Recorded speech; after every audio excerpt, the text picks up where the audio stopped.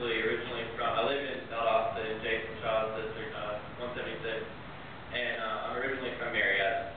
So coming down here, I was a little ignorant to the politics in South Florida. I've been, uh, met some great friends, got to know the area really well.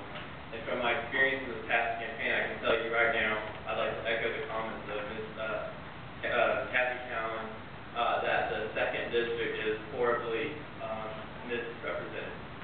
You have people, and anyone that knows the map could sh- tell you the people of that district would not be in favor of the president's healthcare plan, they would not be in favor of, um, of, uh, the, the, uh, of many of his, uh, plans such as, uh, cap and trade, and, um, basically coming down to Albany and Columbus have not much to do with the rest of the district. Um,